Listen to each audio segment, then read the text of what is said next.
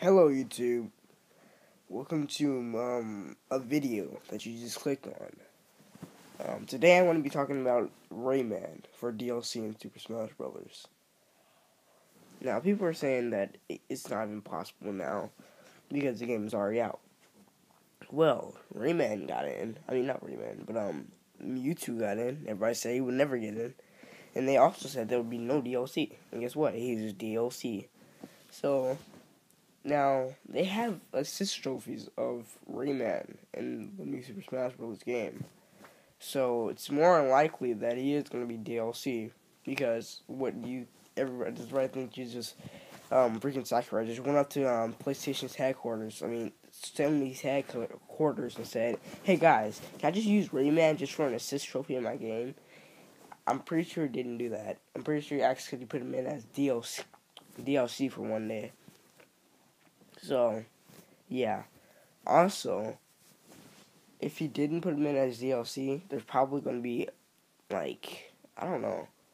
There's going to be uh, weapons, at least, from. And there's going to be other DLC items from Rayman's games if he's not in it.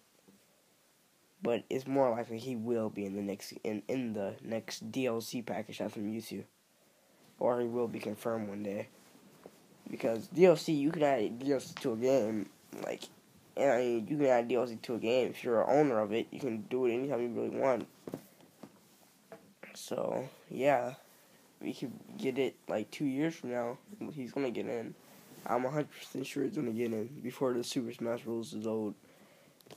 Um, another thing I want to say is um that um freaking uh, Mewtwo having a uh, having a clone move set that's uh, Lucario or something, that's not gonna happen. He's probably gonna get a new fresh move set, something better and faster than his old melee skin. I mean, not not faster, but you know what I mean, better.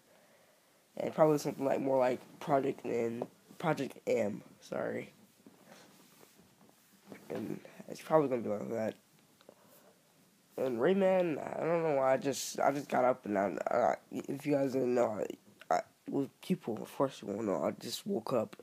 I just woke up and I was just thinking about Rayman, and I was having a dream about playing him in Super Smash Bros.